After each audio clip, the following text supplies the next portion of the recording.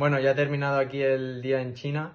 La verdad que bastante bien, podía haber sido mejor. Eh, ha sido un día duro debido a que pues no teníamos descanso entre unas mangas y otras. Y nada, en los cronos he conseguido hacer décimo a tan solo un segundo con tres de la pole. Estaba bastante contento, me he encontrado muy bien con el circuito, un circuito muy rápido. Y en la primera manga he conseguido terminar el 11, eh, muy cerca de, del top 10. Iba toda la manga luchando con Benistan y Zanki. Y al final he terminado el 11 detrás de Benistan.